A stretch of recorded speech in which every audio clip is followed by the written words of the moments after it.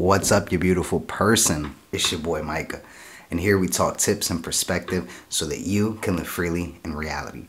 This week's topic is something new I'd like to add to the channel called Myths or Misconceptions.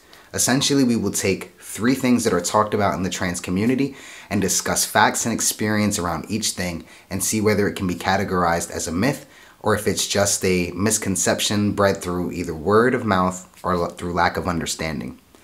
But before we get into the video, if you're new here, consider hitting the subscribe button and become a part of the Real Fam to get more content, support, aimed at helping you grow as a person and in your transition. It's all love here, and I strive to help you in any way that I can. So without further ado, let's jump into the video. So more and more I see trans men in groups asking questions about what's to be expected when embarking on the journey of taking testosterone and asking many transition related questions in general, which is fucking great that we're asking questions. Um, the interesting thing is I see more guys asking about emotional changes versus physical changes, which is what brought up myth number one. And I'll make sure to leave links in the description of scientific articles and a portion of the extensive research I've done on these topics, as well as adding my own personal experiences with T and watching others around me on T. But as always, don't just take my words or anyone's words for anything. Feel free to do your own research and draw your own conclusions. Words, thoughts, and ideas have power, and whenever possible, question the hell out of them. Myth number one T makes you aggressive slash emotionless. This is the biggest one I've see, been seeing more and more, and with all love and respect, I think is based in something much deeper than just taking T. I've read significant amounts of scientific research that talk about how low doses of T have been therapeutic for mood stabilization, even in cis women, as well as many other benefits in cis women and men in terms of mental and physical health. So when you start T, you will be given what's considered a low dose for your body to allow your body time to adjust, just like with any other medication. So hopefully this will mitigate any adverse side effects. But there really isn't any proof to say testosterone causes aggression other than what I've been able to find in significantly high doses that aren't monitored by a medical professional which you often find in people who bodybuild or are competing in high level sports, who are usually doing cycles of all different types of anabolic steroids. They're not just taking T. So if you're on dose is tailored to your physiological needs that will eventually put your T levels to that of a cis guy over time. Now with the less crying portion of this, there is a caveat. There has been some recent studies suggesting that tear ducts are larger in men and can hold more tears than that of women, but there's no evidence to suggest that that's the case for trans men. These studies are also more specifically discussing the amount of which each gender cries per month on average, which is typically women cry more. So regardless of gender though, crying is still possible. Crying is not the only indication of emotion. We can also see through these studies that it's unclear if it's testosterone or the hormone prolactin that affects crying. But even through these studies, they found it's more to do with societal norms in each country between men and women.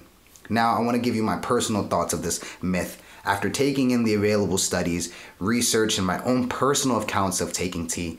But keep in mind, this portion is my own perception of the facts.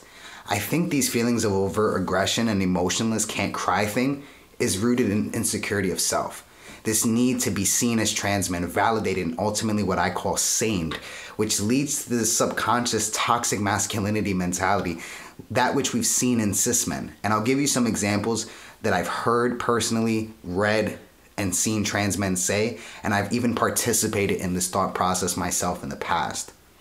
Some of those things that I've seen is now that I'm on testosterone, I can't cry. When before I before T, I could easily cry. Now that I'm on testosterone, I want to fight because I'm always angry. Now that I'm on testosterone, all I want to do is fuck everything that walks. And this is not to negate personal experiences. As with anything, everything affects everyone differently to a certain degree. And yes, T affects your sex drive. It's possible T can play a role in emotions, but as we just talked about, there's no concrete evidence. But doesn't this way of thinking kind of sound awfully reminiscent of boys will be boys, of the narrative that men are incapable of having emotions, of the narrative that we as men are incapable of controlling our emotions and desires, that real men don't cry, real men fight, real men do whatever, insert your opinion. Once I became aware of my insecurities, my eternal need to be seen by the world as a real man I felt inside, and processed it as just that, as insecurity, I got to a place of security in myself. I learned not to give a fuck about what others viewed me as and decided I would just be me. Interesting though, how once I became comfortable in myself as a man and not worried about if others would perceive me as a real man, I no longer felt angry or aggressive. Instead, I felt calm and genuinely happy. I could cry again much easier. Maybe not as much as before, but I regained the ability to do so and didn't feel shame about it. I think it's safe to conclude for this myth that it's partly myth and partly misconception. There's no 100% definitive evidence to disprove that T causes aggression or emotionless. There's nothing to support that it does. This is also partly misconception. Our environment, our society, and experience tailors our views of the world, and well, the subconscious mind is a powerful thing. So I think it's safe to say that this is a tie inconclusive. Myth number two is that T causes male pattern baldness. Now, male pattern baldness has many factors, not just T related. And also for reference, it's estimated that more than 50% of women experience baldness, up to two thirds of women experience hair loss after menopause, and less than half of cis women will make it to age 65 with a full head of hair. I mention this because women are not on testosterone, and yet they experience baldness as well. I've been on T for five years and I haven't experienced male pattern baldness either. As you can see, there's a lot of studies that have shown DHT levels, which is made from testosterone but isn't T. Genetics and other things all contribute to male pattern baldness, and there's no real solid indication or evidence to suggest that T is the sole and actual cause. Many cis men at all ages have full heads of hair, just as many lose hair at different ages. And as they say, correlation does, doesn't always equal causation. So it's safe to say that number two, definitely a myth. Myth three, T causes infertility. You know, it was believed for a long time that T could cause infertility because there just there just wasn't any available data.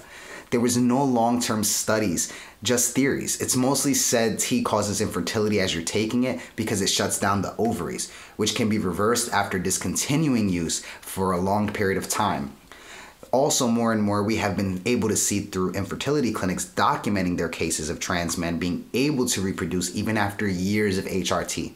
More follow-ups have been done at IV clinics where they can see trans men who have a large amount of egg production once stopping testosterone, roughly at the four month mark. There's also some confusion here, I think. T does suppress ovulation, hence no shark week, which can make things a bit more cumbersome if you're trying to have children, but it doesn't necessarily mean you can't have kids ever at all.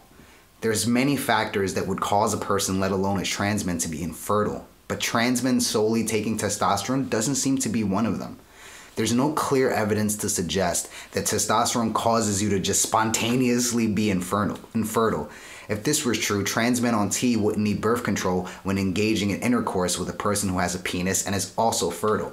There's no evidence to suggest that long term use of testosterone causes infertility either.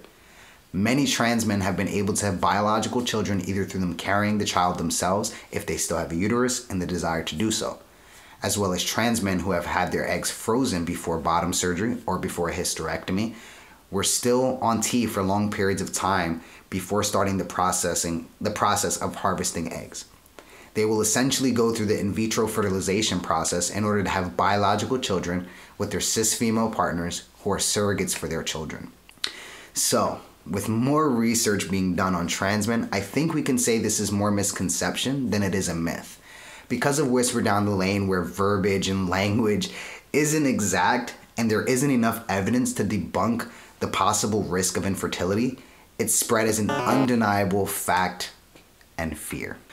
Whew, I know we went through a lot there in such a short period of time, but um, those are the three myths or misconception for today's video. What do you think about these topics? Are they myths or misconceptions? If you want more M&M videos, hit the like button and let me know what you think in the comments. And also feel free to link your research and talk experience down in the comments. Let's keep all discussions here healthy ones uh, because I don't like seeing people just say ignorant things that don't really make sense without having any like scientific backup for their theories. And I want to keep this community a safe place where everyone can share their ideas, their thoughts, their feelings, construct and get constructive criticism, constructive feedback, and have healthy discussion that's going to help us as trans men, you know, have a better experience in general when walking through the world. So let's keep all conversations healthy and respectful. Um, I love you guys, and uh, I'll see you guys in the next video. Peace.